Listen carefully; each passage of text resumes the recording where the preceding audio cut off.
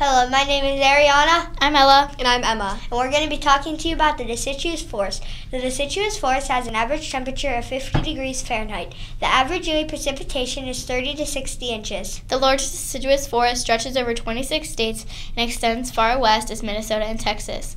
Deciduous forests are located in the eastern United States.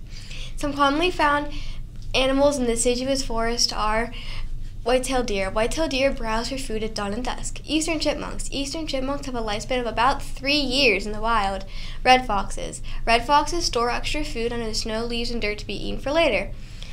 Porcupines. Some porcupines have up to 30,000 quills in their body. The least weasel is the world's smallest carnivore. A plant in the deciduous forest is moss. Moss is a simple, rootless, evergreen plant. Deciduous forest is neither too hot nor too cold. Some Plants commonly found in the deciduous forest are maple, birch, and oak trees. Deciduous forest is a biome dominated by deciduous trees that lose their leaves seasonally.